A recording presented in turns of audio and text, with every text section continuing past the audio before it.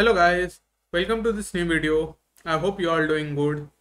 Today we are going to solve two problems related to piping concept.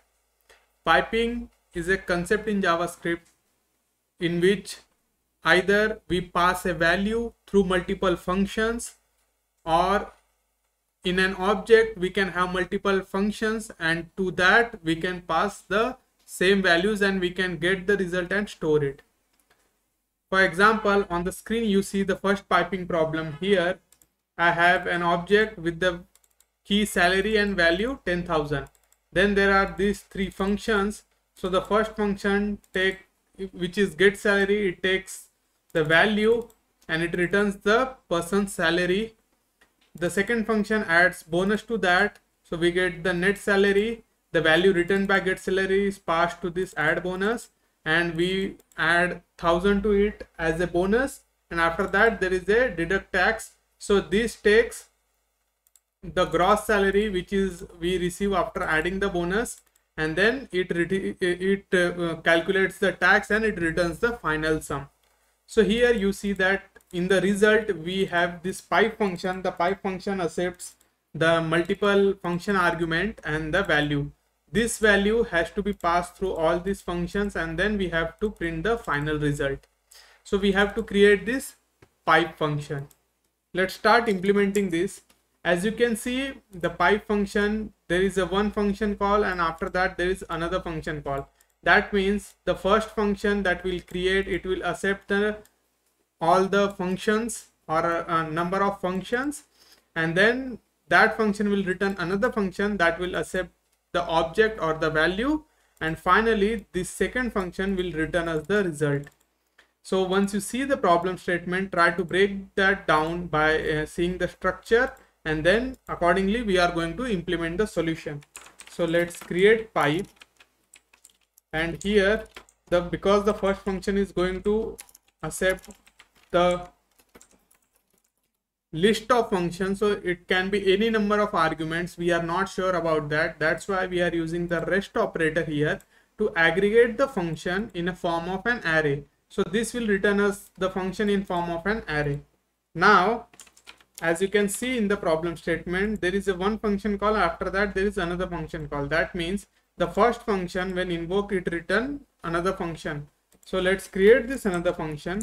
Now you can create a name or anonymous function. Here i'm creating anonymous function because i don't want i don't have to invoke this function anytime further.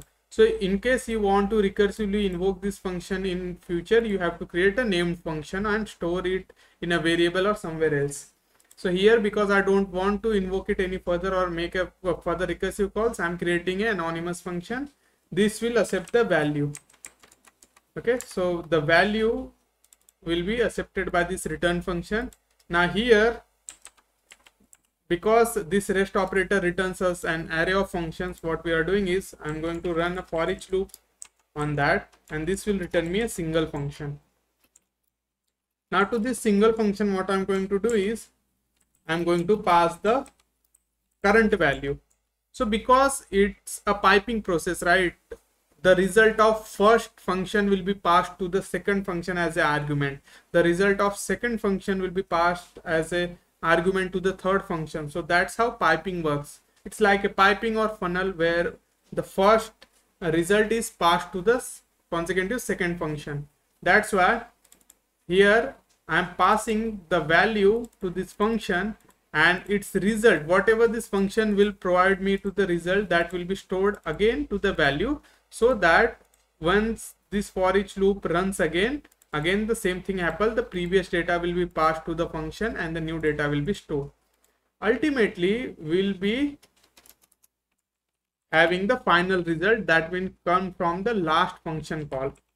So we have the final result. That's it. This result will be returned. So i think that's how you can implement this piping function. If i click on run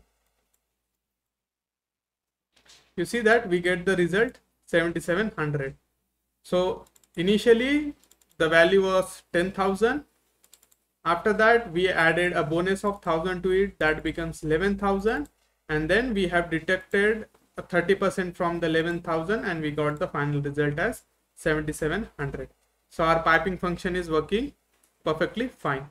So this is one example of pipe. You can expect this for SDE1 and SDE2 in the first coding round now let's move to the second piping question so as you can see over here we have a structure another piping example here you see we have an object and this object contains nested keys and these nested keys have functions that perform a calculation. Now we have to create this pipe function that will accept this object and the arguments in the second call these arguments will be passed to these functions and whatever will be the calculation that will be assigned as a value to this key.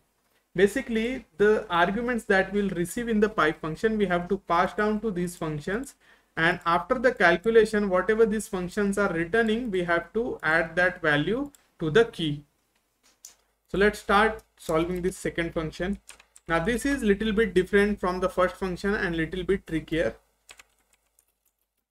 from the structure we can see that here also after invoking the first function it returns a function and that function has to be stored. Sorry that function will accept the number of argument that has to be passed to the functions. Now it won't be 3 it can be on any limit. That's why i'm going to return again an anonymous function because i don't see a need of making a recursive call any further. So i'll accept all the arguments as an array.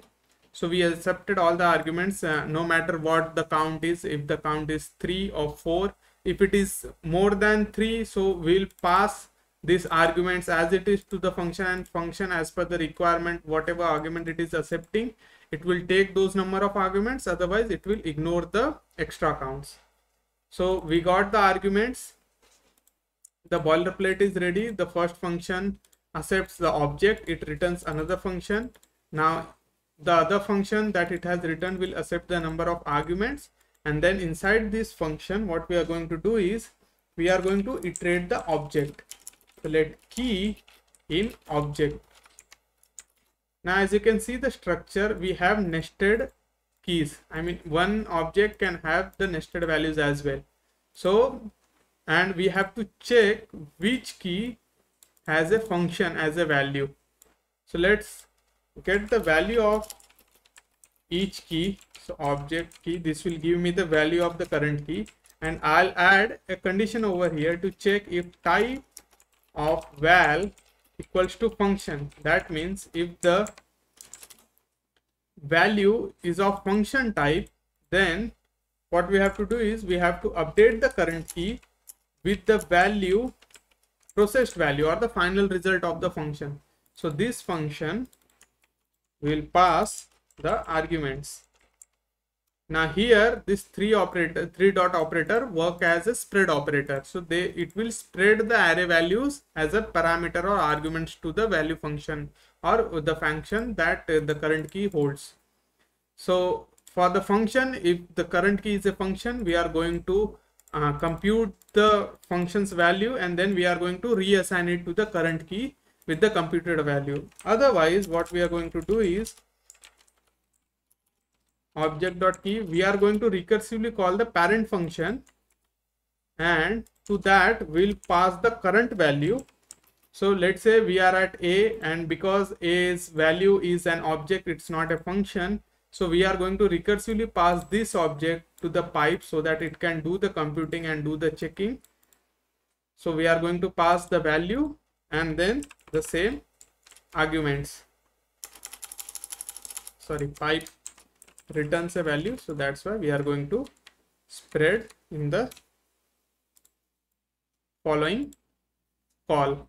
So pipe accepts the value or the nested object and then because pipe returns a function that accepts the arguments so we pass the same arguments back to that. And this will do the nested computation recursively. It will call the same function again. The same iteration will happen.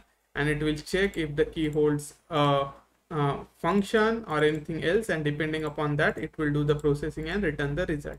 Finally once the computing is done we are going to return the original object because we are making a recursive call to the parent function. So this parent function returns a function and that function should return a value that should be assigned to this key. That's why we are returning the original object whichever the function has received as argument so that its value will be assigned to that current key. I think this should work. Let me click on run. So see we got the function a b. In the b it accepts three value and returns the sum of three so we get three as output. For c we are getting a plus b minus c that is 2 minus 1 that is 1 we are getting the value. And finally for d because we are subtracting everything we are getting minus 1 let's say if i have another value over here e is true so this will be untouched because this is not a function. So we should return we should get e as true as it is so see, we got E as true as it is. So our function is working perfectly fine. I hope you have learned something new today. Thank you for your time.